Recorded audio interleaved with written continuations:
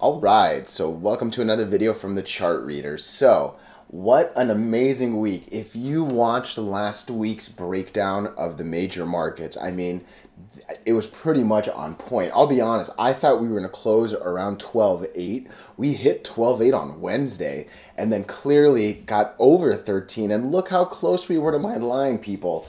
Um, again, it's not about perfection, right? But when you're basically, what, $13 off the close, um, that's not too bad a thing, right? So hopefully you're gaining some confidence in these lines. Again, not financial advice, but hey, I do hope you're learning, and hopefully you've seen that like if you do learn this stuff, there's there's some good that can come from it. So we're gonna do like we always do, right? We're gonna talk about the Nasdaq. We'll start here. We're looking on the daily, and then I have not been lowering these. I've been kind of talking up here and then working my way down. Again, I always say 80% of the work is up here. This is kind of the last 20, right? So um, again, a lot to talk about, but let's just talk about the immediate and then I'll do a zoom out of a bigger picture. So, um, yeah, I actually don't know when I made this. I made this probably about a week ago, right? So if I had to guess, one, two, three, roughly around here, probably about five trading days ago, right? Um, we've basically broken the 100 at that point, right? And we've really just been riding this eight, right? Again, this is why I love the eight moving average, right? The green line right here. Once you can break the eight and once you can sincere, like down here, right? You're clearly below it. Once you can break it and actually regain it, it took a little while, right? There was a little bit of an up and down here, but once you regain it right here, you're pretty much just riding it, right? And hey, you might come down a little bit, but hey, whatever, right? There's even prettier ones on other tickers, but the 8 is a beautiful moving average once you get it. So again, we basically broke the 100. It's been a long time, but again, we're still holding the 20. We're still holding the 50. Now that we've got the 100, there's only one left, right? And it's basically that purple line right there. I do think that this is going to be an important line to break, right? This 1360 clearly the day went all the way, right? So it's not like it hit the wall. I'm pretty sure, let me just look over real quick. So if you look the high of the day and the very top line are both 13047.19, right? So literally it ended on the high of the day. So it's not necessarily that the line blocked it, but it needs to get over that line. That's that is going to be really important, right? Just kind of sneaking down here our RSI is getting really high, right? So we're now at 76. I oh, and I actually think we might be. This is kind of the highest we've had in a while. I got to zoom back. Even that, right? So I mean, we're we're pretty much at at the peak of our RSI historically, right? At least over the last couple months, right through May. So I could see a little pullback. Again, I don't think anything crazy, but hey, we've gone all the way to the top of this channel, right? Between these two. Maybe we come back to the middle, give or take. Maybe we come back and touch the the eight. You know, I don't know. I'm just kind of talking out loud, right? Um, I do want to talk about the overall downtrend. So I've shown this a couple times, and really, we're pretty much knocking on the door, right? So we've made this line a few times, and look we've actually broken it as of that close, right? So we need the confirmation and we need the confirmation that comes with this 13-6 break. But if in the next couple days it's green, I mean, we might be running back up to all-time highs. I'm, you know, don't get me wrong, it's going to take a while and all that, but um, this downtrend right here I, I can't believe we got up to it as quick as we did. I'll be real honest. I remember really thinking that this was going to just keep running. I remember when it was this, then it kind of turned into this. And then obviously, even if I just hold this, this little break right here is what caused a lot of that, right? But I mean, we've been on that upward, then moving to that upward, right? I mean, I don't know if we're to go even steeper, but generally, as you go steeper, steeper, steeper, that's that's how it looks, right? Don't get me wrong, this could still fail. We could not get the confirmation we want and then head back down, okay? So um, I'm obviously a little optimistic in my in my tone and voice, but you know, a couple things still need to happen. I do want to check out, check out the weekly, right? Again, now that I'm only kind of doing this roughly once a week, I think this is a really important view. So, if you can hold the week, I mean, the week still has a lot of room to go up, right? Again, need to break this 13.6, but I can see us actually closing around 13.5 on Friday.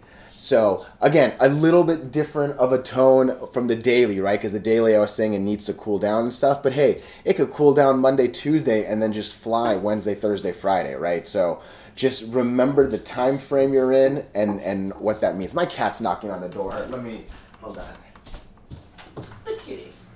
All right, we're making videos. So again, the weekly does look positive. And if you remember last week, I looked at this view and that's when I called the 10 8 the 12 8 number, right, which actually got broken. So um, yeah, I think signs are looking at coming to the 100, especially have we broke it? Look at that. We broke that. I love it. Perfect. Perfect, perfect. And that's probably around the 100, right? Yeah, look at that.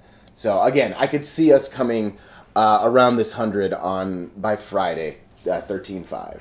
Nice, so cool. That was a quick view of the NASDAQ. Let's come over to the SP5.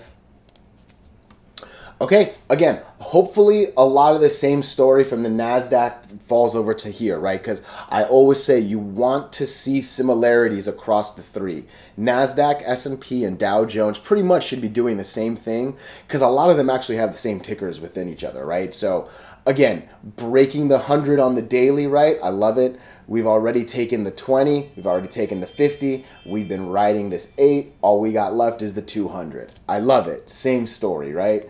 Let's zoom out, let's zoom out. That's a good zoom. Where are we in the downtrend? Boom, boom.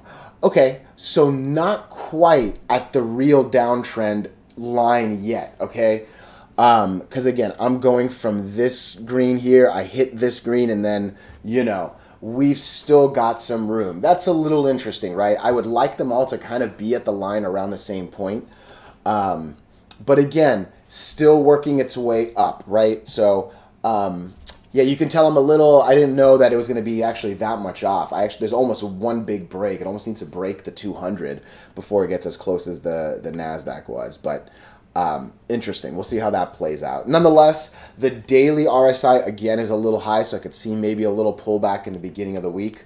But let's see what the weekly looks like. Again, actually, same basic story, right? I will say that this 13.3 and then what's the 50? So 13.03 and 13.47 are not that far off, right? Basically, the red line in this. So I could see somewhere in the middle is where this might end. Again, I don't know if it's going to break one, two, both, or either. Generally, it's hard to break one. It's a little even, it's that much harder to break a cluster, right? So, um, but yeah, overall, good low number on the RSI. Green is over red. Green is over red on the MACD. So pretty much the same story with the S&P and the NASDAQ. Let's hit up the DJ30, the Dow Jones Industrial. Again, same basic view, and I love it, right? Broke the 20, broke the 50, broke the 100. We've been riding the 8, took this line out, and we're now actually at the 200. So the Dow is a little, is actually the closest to the 200, right? Um, the rest were actually a little further away. Let's see what this one's looking on the downtrend. Actually, it looks like it's pretty much on the line like the NASDAQ was, because I'm going to go to that up there. Oh, did this guy break? Look at that. So look, again, this guy also broke, and I would say actually broke a little bit more than the NASDAQ did. So again, we need that confirmation, right? So I would basically say if we can get over that 200, that would be a pretty important um, confirmation. So um, yeah, pretty important times we're at right now, right? We're either, like I said, kind of like the same view. I know I just got rid of it, but let me just put it back real quick either this thing keeps going up or we do actually fail this and then we pretty much come back down, right? So we'll see. I will say again, I liked how the weeklies looked on the other one. Let's see how the weekly looks. Oh, I gotta change my thing back to the arrow. Again, great weekly. Great. Let's just break that 50 on the weekly. And then, um, yeah, we're pretty much over because the 200's down here we just pretty much broke the 100 and this line pretty monstrously. Monstrously? I don't know if that's a word, but you know what I mean. Look at that green. Um, so yeah, that is the last one right there. Is the 50 on the weekly, and again, all of the RSIs are around that low 50, which just in my head means if good things happen, we've got some strong weeks coming. So. Um, yeah, this was a, a, a, quicker review, a quick 10 minute review of all three.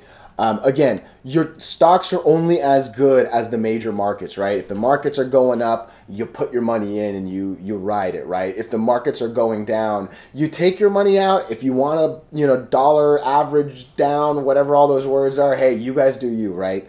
Um, I'm not here to tell you how to use any of your money or give you any financial advice like that. But I stress it. This video, I'm only making it once a week because not that many views happen on these, but I literally do this every single day before I move any money because I need to know how these three are doing before I move my money, right? So, um, yeah, I hope you're learning. Again, not financial advice. And then signing up on YouTube is the fastest way to get all the, the notifications. So, have a great one.